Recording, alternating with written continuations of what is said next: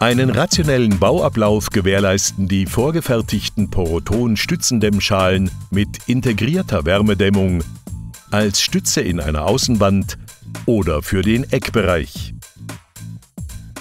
Die SDS wird zusammen mit dem angrenzenden Mauerwerk aufgemauert. In der ersten Schicht mit Dünnbettmörtel zur Hälfte, das heißt in einer Ziegelhöhe bestrichen, wird sie über die Bewährung in die Ausgleichsschicht aus frischem Mörtel gesetzt. Beim Aufmauern der jeweils zweiten Ziegelreihe werden die angrenzenden Ziegel mit Dünnbettmörtel versehen an die Stoßfuge der SDS angelegt. Stoßfuge an Stoßfuge folgen alle weiteren Ziegel in das Dünnbettmörtelbett.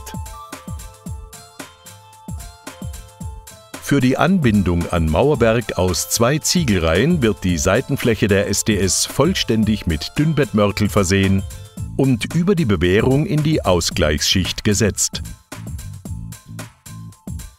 Ein mit Dünnbettmörtel bestrichener Halbstein sorgt in der folgenden Ziegelreihe für das richtige Überbindemaß.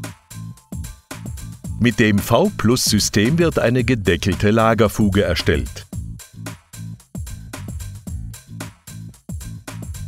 Vor dem Aufmauern der dritten Ziegelreihe werden je zwei mit Mörtel bestrichene Flachstahlanker in das frische Mörtelbett gelegt und zur besseren Haftung komplett mit Dünnbettmörtel bestrichen. Zum Aufsetzen der nächsten SDS wird auf alle Ziegelauflageflächen Dünnbettmörtel aufgebracht und die SDS über die Bewährung aufgesetzt.